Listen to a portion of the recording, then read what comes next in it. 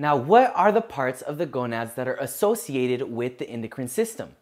Let's start with the part of the ovaries that makes estrogen. Now, this is called ovarian follicles. Now, what is the part that makes progesterone? Well, this is called the corpus luteum.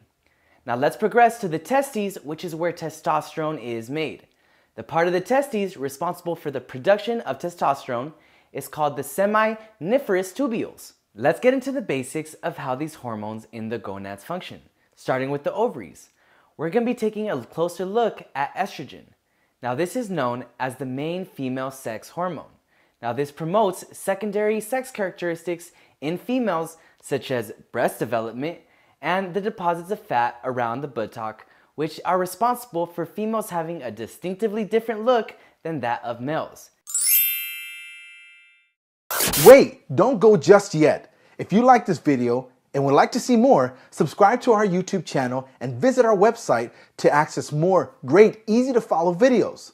Don't worry, Nursing Study Buddy will be posting free videos for our YouTube subscribers and a wide variety of snippets from our video library at nursingstudybuddy.com.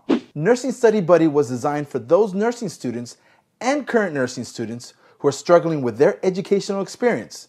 So if you're a pro, whiz, Einstein, or even Stephen Hawking's nephew and have no trouble studying and acing your tests and quizzes, nursingstudybuddy.com is not for you. With new videos being added every week, what are you waiting for?